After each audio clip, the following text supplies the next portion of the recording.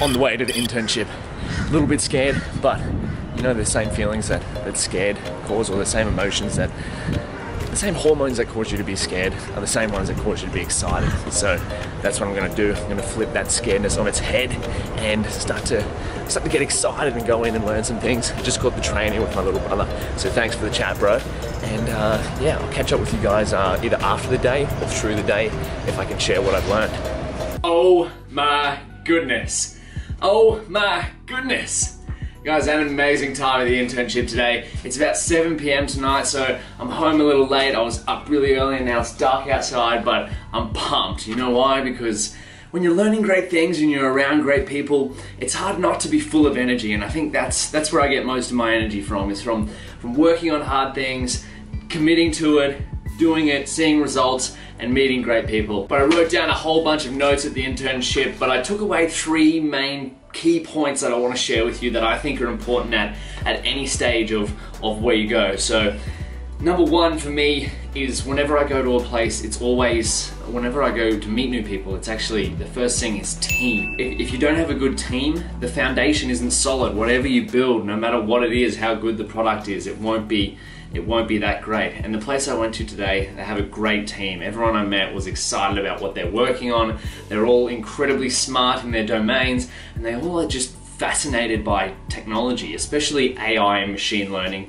which is of course what fascinates you and I so much. So wherever you go, if you're starting a startup, or if you're going for a job, or you're doing an internship, please please please sort out the number one thing is team. If you don't if you don't want to work with someone or if you can't work with someone else it's going to be very hard going forward in the future. So make sure first and foremost you're going to work for a good team or if you're building something you build a good team. Number two was projects and now I can't tell you the exact details of what uh, the, the company I went to today, what they're working on, but I can give you some idea around it. So say for example, you're a law firm and you wanna work out how to use your data to make future settlements a more streamlined process. That's the sort of stuff that we were working on. So we were taking case histories, taking the data from that, manipulating a bit and trying to work out what relationships are there over 15 years worth of cases to make future cases more easily streamlined and easily easy to go from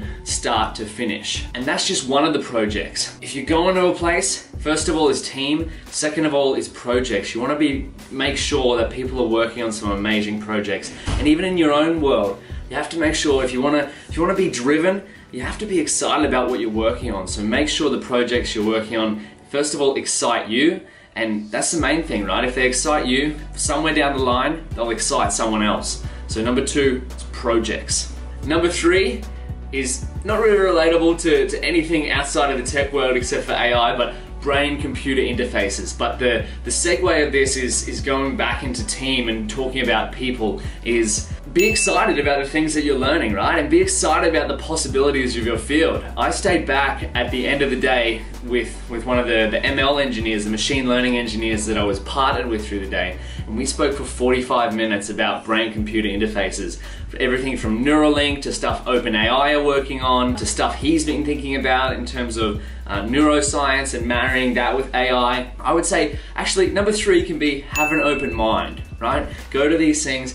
Don't be don't be streamlined in what you want to do. Of course, have your own opinion and and be strong on your own interest and whatnot. But beware, there's there's there's heaps of other people around, and they're gonna have they might not be interested in the things you are. So a really good way to build some solid relationships is to be interested in what other people are interested. So there's my three major takeaways from the internship. Um, otherwise, what I was doing is actually just on the laptop most of the day, working in the Jupyter lab, manipulating data sets, practicing using pandas and Python.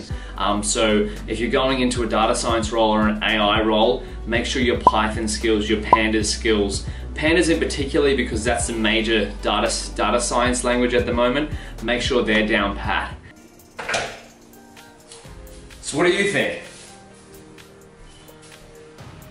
What are the most important things you look for when you go to work somewhere? For me, number one was team. Can you work with the team or can they work with you?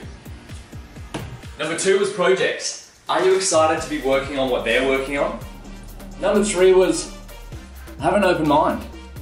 And of course, the technical skills like Python and Pandas and whatnot are important. But what I think is more important is being able to take a problem and break it down into smaller steps and solving each step systematically. What do you think? Leave a comment below and, and we'll sort it out. We'll reply to each other and we'll figure out a good list of what people should look for when they're going into an internship. Now, speaking of comments, Last week's comment of the week goes to Geminiski. I love the way you applied stoicism wisdom to, to going into a new situation. By assuming the worst case scenario, you always come out on top. And I'd like to give a big thank you to Jared Gore, who's my latest Patreon. Thank you so much for your support.